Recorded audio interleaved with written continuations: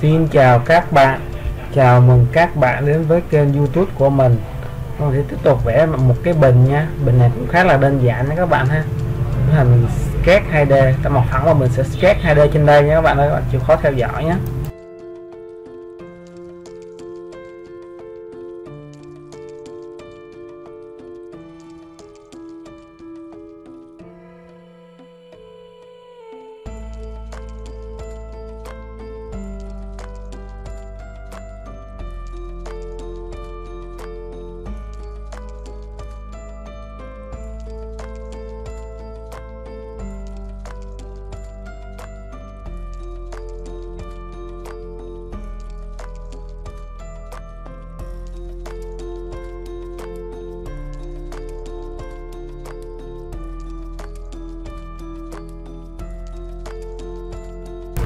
Nếu các bạn thấy kênh youtube của mình hay và bổ ích, Các bạn nhớ ủng hộ và chia sẻ giúp mình nữa nhé các bạn ơi. Mình cảm ơn các bạn rất là nhiều.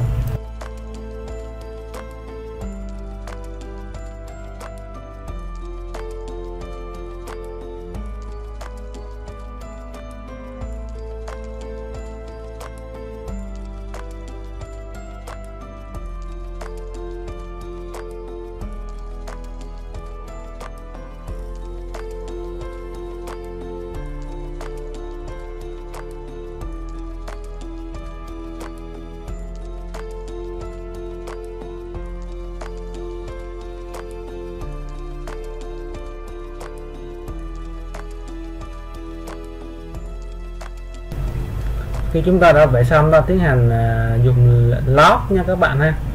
Ok, mình sửa lại đây một một tí này trong quá trình vẽ có gì nữa có một chút sai sai sót nha các bạn.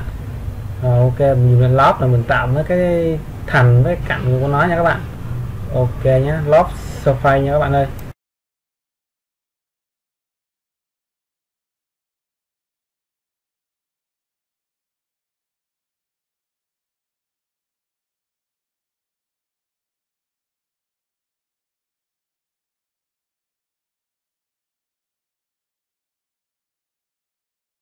Chúng ta làm tương tự với phần bên dưới cũng như cũng như vậy mà làm tự như vậy luôn nha các bạn. Cũng dùng lệnh lệnh lót và các bạn tạo đặt cái miếng dưới sẽ dài hơn dưới phần thân còn phần trên phần, phần miệng nha các bạn ha. Rồi ok đó thứ hành chúng ta sẽ ba tầng vô, vô trên cho nó. Ok ba ba ba ba tầng nhập số liệu rồi ba tầng qua cho nó cho nó này. Rồi ok. Đó.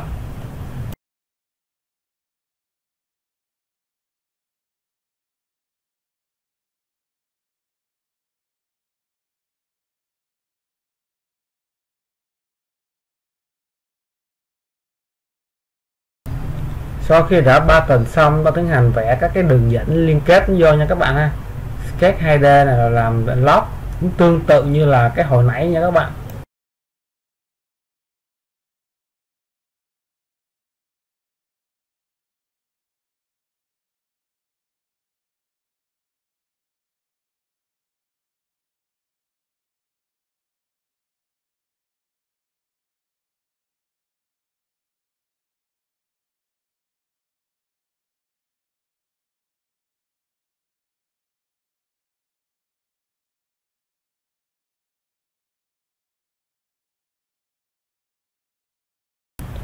Trong thời gian tới, mình sẽ cố gắng phát triển kênh youtube của mình.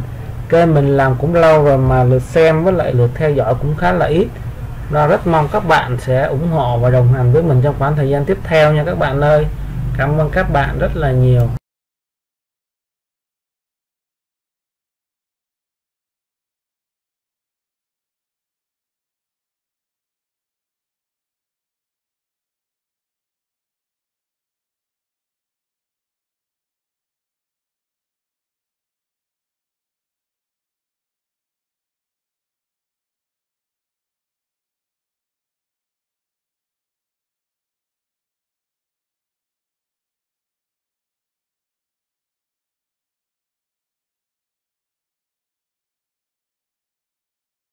Rồi chúng ta xài lệnh lót chưa?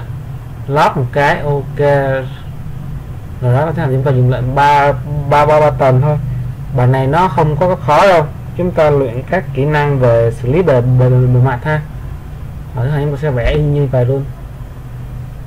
Rồi đó. Ba tập trên đó rồi ok. Rồi nha các bạn ha. Quan sát nhé. Sau khi xong nó hành liên kết lại thành một, một đối tượng chúng ta dùng lệnh knit là liên kết cả các bề mặt thành một đối tượng nhé ok chúng ta sẽ xử lý một tí về cái phần miệng bình và cái đáy bình nhé ok mình tạo một cái mặt phẳng ở đây. Mình tiến hành mình sketch 2D trên nó nha các bạn ha.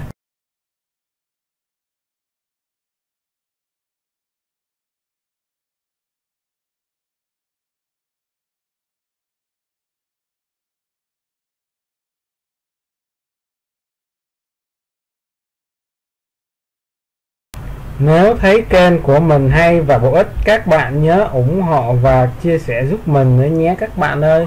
Cảm ơn các bạn rất là nhiều.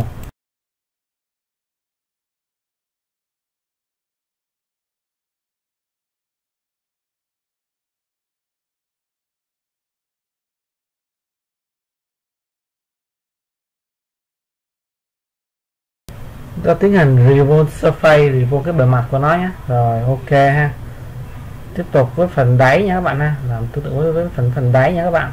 Chỉ có theo theo dõi theo dõi.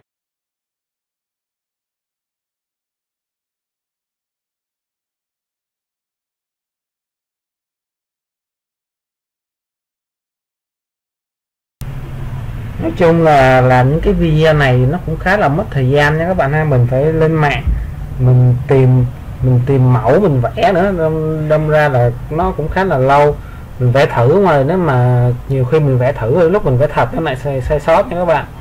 Ra cái này cũng khá khá là vất vả nha các bạn ơi. Đó làm tương tự như vậy thôi các bạn sketch 2D nó ra.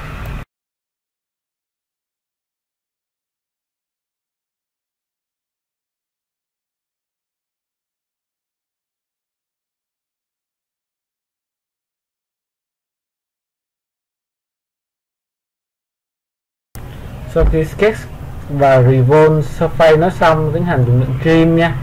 Chọn chế độ ờ, uh, số, số, số, chế độ này nè. Trim mình chỉnh sửa lại một tí các bạn có cái sai sót ở đây chỉnh lại ra một tí. Không nó vẽ nó hay nó hay bị sai lắm mà các bạn cũng uh, thông thông cảm với giúp mình giúp, giúp mình giúp mình nhé. Rồi ok. Rồi.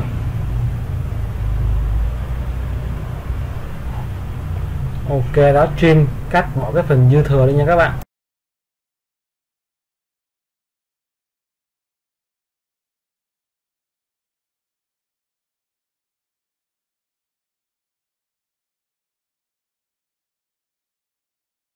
Tiếp theo tới phần tạo tạo tạo, tạo, đáy nha các, các bạn ơi. Ok đó được cái hình dáng rồi đó các bạn. Tiếp theo chúng ta sẽ tiến hành à, connect liên kết nó lại nhé. Các bạn nào mà mà mà muốn mà à, fill led thì các bạn có thể tự mình fill led nhé. Mình fill led trong này sợ sẽ ảnh làm lâu bài làm lâu cái video nha các bạn ha. Muốn fill led thì các bạn à, uh, fill led mà mình làm tới khúc này được rồi các bạn. Khúc fill led sau các bạn uh, tự mò cũng được mà các bạn ha. Thích cần cho nó nhé giật bia cho nó rồi, bấm ok nhé rồi. Đó, một quan sát rồi, nó có sai sai số là mình chỉnh qua bên này nhé rồi, ok ha. Rồi quan theo dõi. Đó các bạn ha mà tập cũng khá là dễ. Rồi, ok. Thì các bạn ở đây nhé các bạn ở những video sau.